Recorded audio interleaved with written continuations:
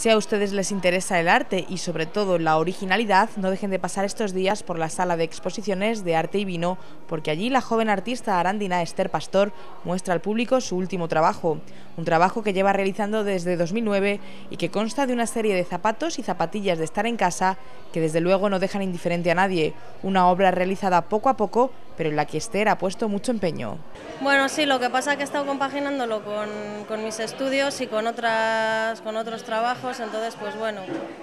en mis ratos libres cuando he podido, pero bueno, lo considero de verdad mi trabajo, porque el arte es mi pasión y lo secundario es lo demás, el arte es lo principal. Hemos preguntado a Esther cómo está el mundo del arte para gente joven con buenas ideas como ella. La arandina tiene ilusión, pero no es ajena a los tiempos difíciles que corren para todas las disciplinas, también para el arte. Pues bueno, es bastante difícil porque hay mucha gente ya conocida, ahora hay poco dinero, estamos en una situación difícil y además muchas muchas galerías apuestan por artistas ya consagrados, o sea que van a lo seguro. Desde luego la exposición de su serie de zapatos merece la pena. Desde aquí se la recomendamos a todo el mundo.